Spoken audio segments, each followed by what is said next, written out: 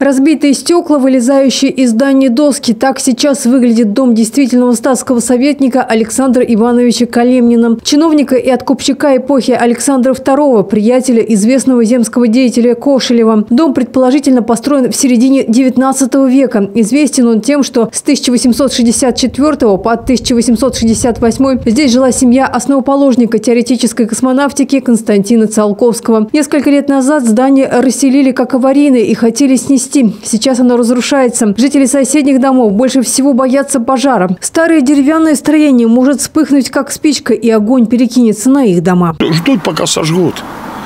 Уже третий год никого нет. Как расселили. В шестнадцатом году их выселили.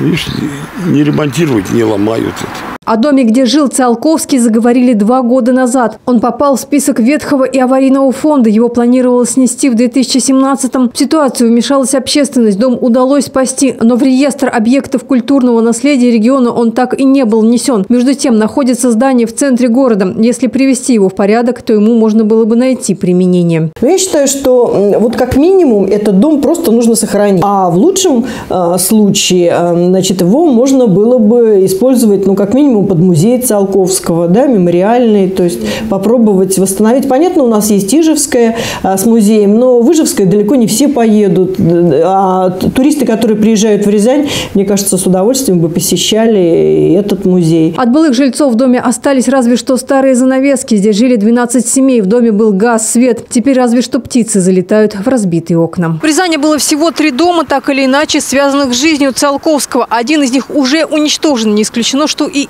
это ждет та же участь. Дина Исляева, Станислав Кудряшов, телекомпания «Город».